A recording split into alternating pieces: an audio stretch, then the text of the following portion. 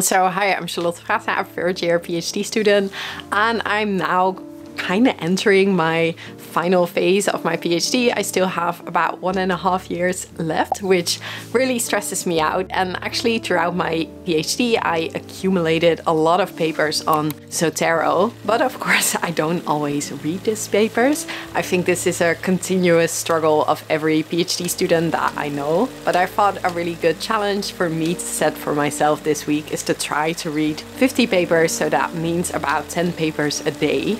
And if you also have a big reading challenge coming up or you have to write a paper, watch this video and I will give a lot of tips along the way of how I structure reading, how I kind of accumulate ideas, how I do a little bit more loose reading or how I try to go through a paper as quickly as possible. So let's get straight into it.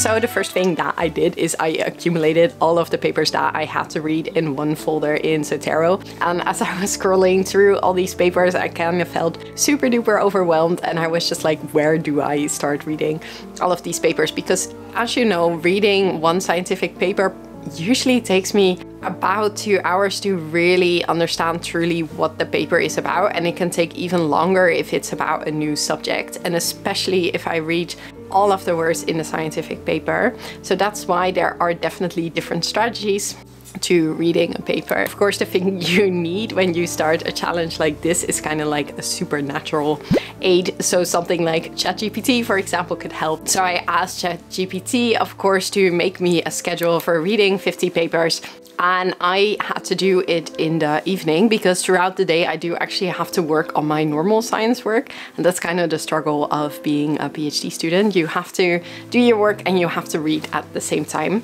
But I asked ChatGPT to make me a schedule every day from 5 until 10 that I could read about 10 papers. So that meant I have about half an hour per paper to read the paper. And maybe you're thinking, how can you read an entire paper in half an hour? So I will show you how I do it. So the thing is that for scientific articles, there are actually a few, quite a few methods to reading the paper. And I think if you read papers to gather new ideas, you actually don't have to read the papers in depth. I think if you're doing it to learn a new technique, or if you really want to follow the ideas in the paper and apply them yourselves, it's sometimes a bit better to do a deep read. But to do a more shallow type of reading, it is definitely a different technique. So the first thing that you do is usually I skim the abstract to see if the paper is even relevant, because a lot of times the title maybe says something, but even the reading the abstract, we can kind of see that, oh, this is not what I'm looking for. Then the next thing I do is I read the conclusion because the conclusion just says the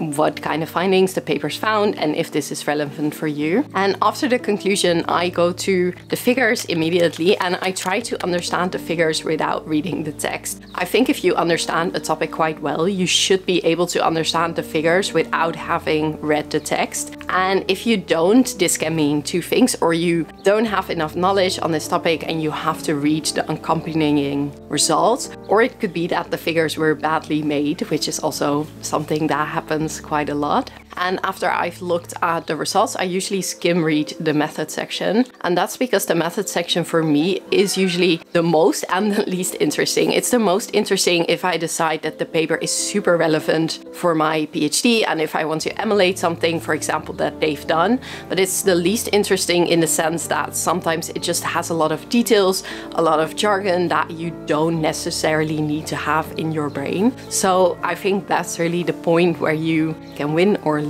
time. So let's get into reading 10 more papers.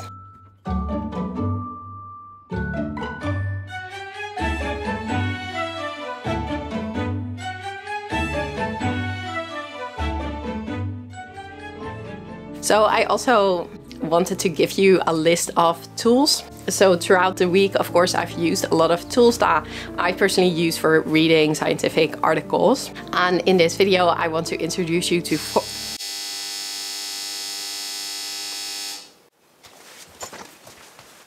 So also I want to give you a list of tools that I always use when reading papers and I think they can be really helpful if you're also on a reading challenge or just in general for your PhD. So the first thing that you really need is a reference manager. So reference managers are very diverse. You can use Zotero, Mendeley or EndNote and they help you organize and manage your references and they allow you to save, organize your papers, generate biographies and annotate your readings.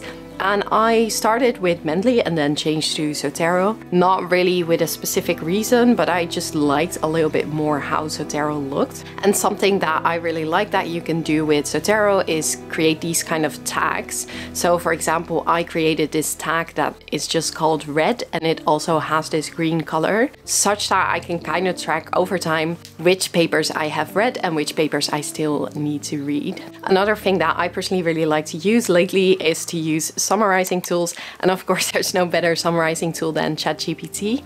I think using ChatGPT in an academic setting is definitely something you have to do with caution. But to summarize a paper or summarize an introduction or to re-explain a certain part of the text, I think ChatGPT can be really good for that. So you give it a little part of the text and you ask it for a five note summary, for example, that you can paste in your Notion or another type of tool that you use to track your notes. And that way you can create these kind of summary overviews of all the papers that you have read. And then if ever you need to reference something or you just want to know a little bit what that paper was about, you can just look at your summary notes. Two other things that I kind of want to talk about, and that's more to find papers, is to use Scopus. So Scopus is a really nice tool to find papers, but I think it's also really nice that you can create these alerts for certain authors that you like. So for example, a few people that I know in the field that publish a lot, I have created alerts for them and then every week or every month on my email I get a dedicated email to the papers that they have published that month. And that's a really good way to passively stay updated with the latest research. Another way that I've talked about many times in previous videos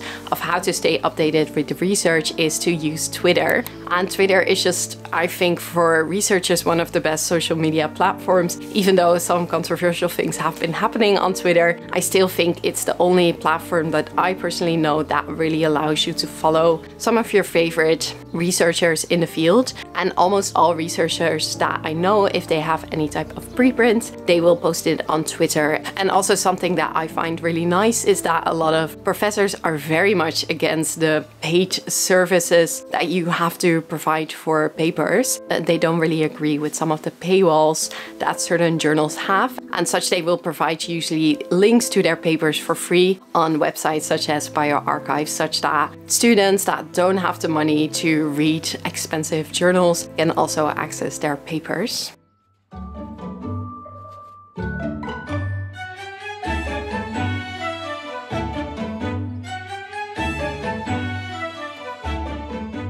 So at the end of the week, I have read these many papers and I'm actually really proud of how far I've come. I think in general in doing your PhD, it's really hard to balance the amount of output you have to produce and the amount of input you have to consume. And for me, what really works is to sometimes divide my weeks into weeks that I do a little bit more reading and weeks that I do a little bit more programming or some type of teaching. And I think in my mind, I just, if I notice that I really don't have some kind of knowledge on a subject or I really have to push a little bit more towards another subject or really have to learn about something, I do usually try to take some time off to really spend on acquiring that knowledge and really updating my level of knowledge on the field. And I think this can be really overwhelming. And I do know people that structure it differently. For example, some of my friends read one paper every morning, and that way they have read about five papers every week because of course you take Saturday and Sunday off. But yeah, let me know if you have any tips or tricks of how you divide your work between reading, writing, studying, all of these things that you have to do as a student. And also let me know if you have any curiosities that you have about neuroscience because I definitely in the future want to make a few more videos about neuroscience as well. And otherwise, see you next week. Bye!